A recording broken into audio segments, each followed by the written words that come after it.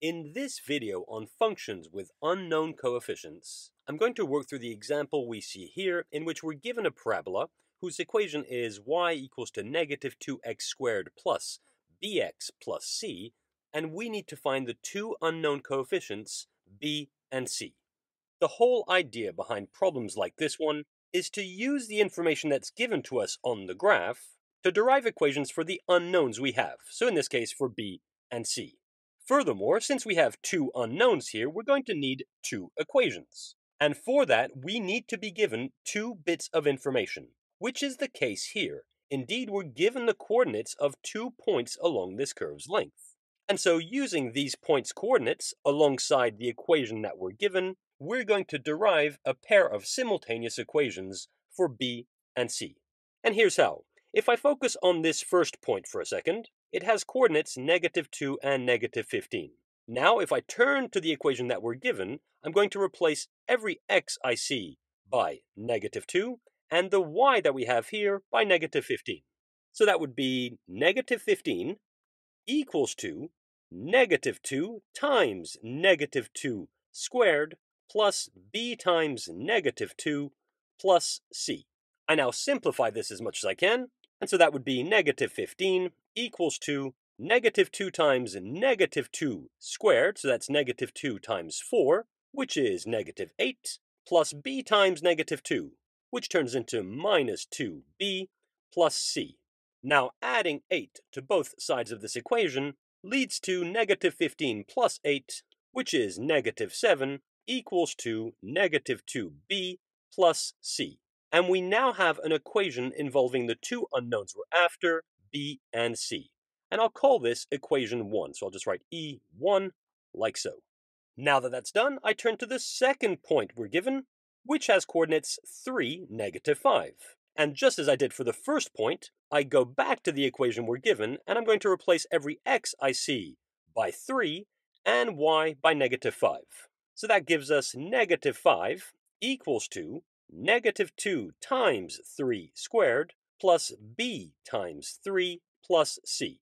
That's negative 5 equals to negative 2 times 3 squared, so that's negative 2 times 9, which is negative 18, plus b times 3, which is 3b, plus c.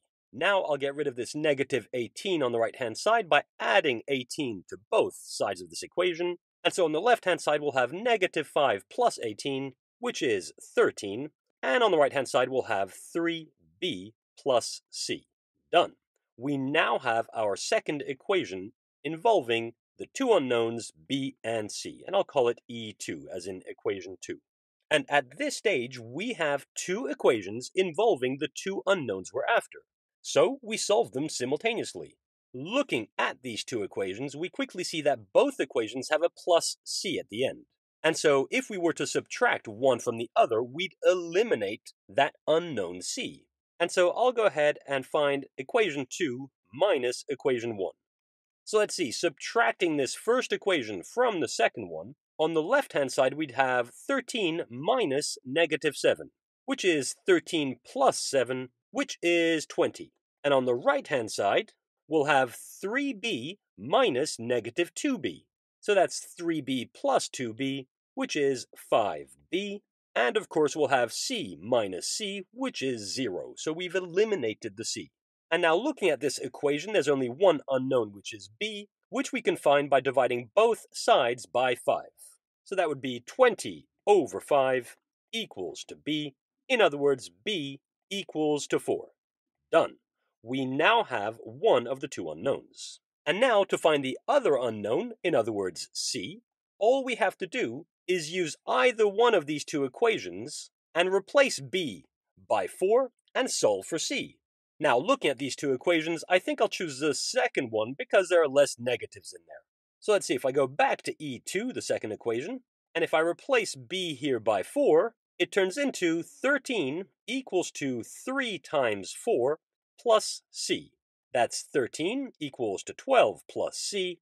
And finally, subtracting 12 from both sides of this equation leads to 1 equals to c. In other words, c equals to 1. And we're done. We've now found the two unknown coefficients b and c. And we could finish by stating this parabola's full equation. So that's y equals to negative 2x squared plus 4x plus 1. And there we go. That's it for this video on functions in which we find unknown coefficients.